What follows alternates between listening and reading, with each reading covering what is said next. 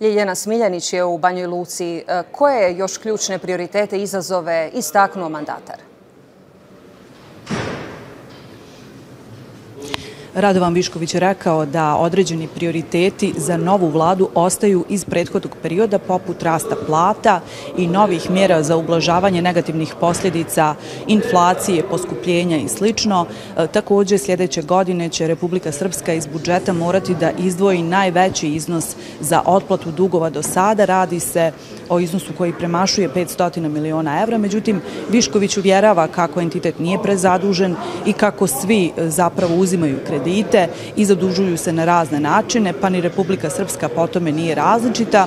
Također ističe da će u okviru ove jedne ključne oblasti, odnosno digitalizacije, uvesti određene izmjene i elektronizaciju tržišta hartija od vrijednosti, odnosno da će se elektronskim putem moći e, zaduživati putem e, emisije trezorskih zapisa ili obveznica. Taj način zaduživanja upravo e, vlada Republike Srpske često koristi, naročito trezorske zapise kada govorimo o nekim kratkoročnim zaduživanjima. E, što se tiče samog novog sastava vlade i ministara koji će biti e, u tom e, sazivu, postoji nekoliko interesantnih imena, između ostalih Siniša Karan koji će zamijeniti Dragana Lukača na mjestu ministra unutrašnjih poslova Republike Srpske. On je u prethodnom periodu bio savjetnik predsjednika Republike Srpske Milorada Dodika, generalni sekretar vlade, a 2016. bio je predsjednik komisije koja je bila zadužena za sprovođenje referenduma o danu Republike Srpske.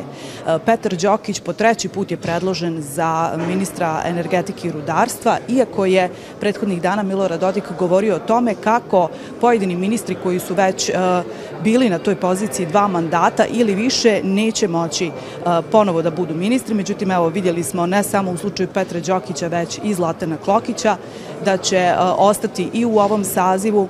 Također je predložen za ministra trgovine i turizma Savlad Hurtić iz Doboja. On je trenutno poslanik u novom sazivu Narodne skupštine Republike Srpske, a upravo su taj resor tražili iz pokreta za državu kada su pregovarali sa predsjednikom Republike Srpske o formiranju nove vlade.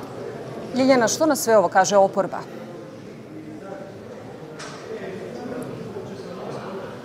Opozicija je komentarisala ova ekspoze, prigovorili su premijeru i mandataru Radovanu Viškoviću to što u ekspozeu uopšte nije pomenuo borbu protiv korupcije i organizovanog kriminala. Također su neki od poslanika opozicije pomenuli kako bi ovo trebala da bude svečana sjednica, da bi ovdje trebali da budu prisutni i uvaženi gosti poput ambasadora raznih zemalja, bar je tako bilo ranije. Međutim, kako kažu ovog puta, e, to nije slučaj. A evo, predlažem da čujemo šta su još još e, pojedini poslanici opozicije e, rekli na ekspoze e, mandatara Radovana Viškovića.